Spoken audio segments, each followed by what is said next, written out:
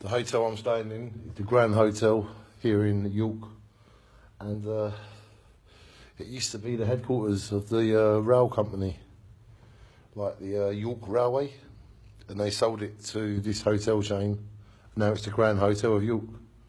And look at the architecture of the uh, windows and that. Look, it's amazing.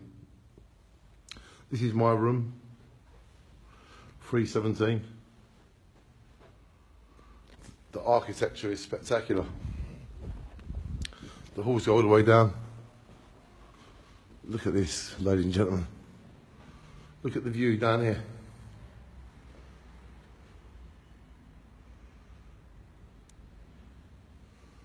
That is spectacular.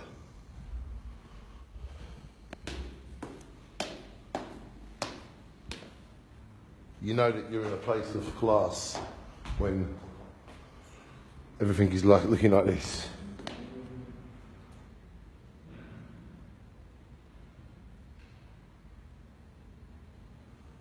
Wow. Welcome to York. Welcome to the Grand Hotel. Shine on everybody.